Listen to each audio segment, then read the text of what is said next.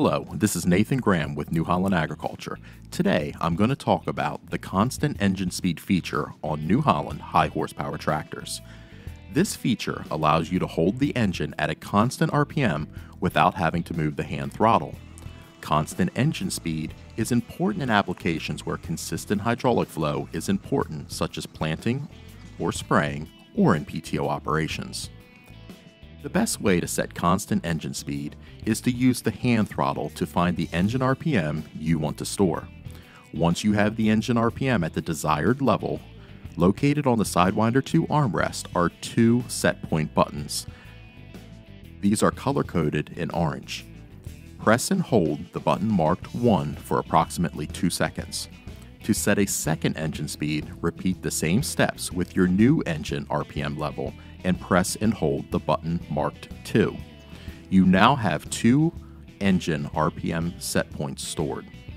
An orange indicator light matching the constant engine speed buttons will also illuminate in the A post.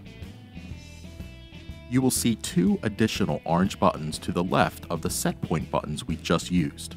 Once the engine speeds have been set, you can go back and either increase or decrease those set points by 10 RPMs by pressing and releasing these buttons. Press and hold these buttons to increase or decrease the engine RPMs by 100 RPM increments.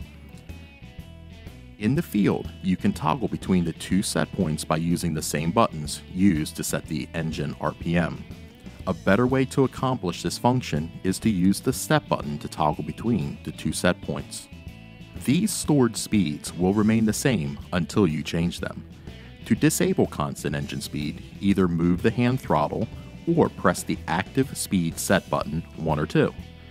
Keying the tractor off will also disable this function, but remember, your two set points will still be stored.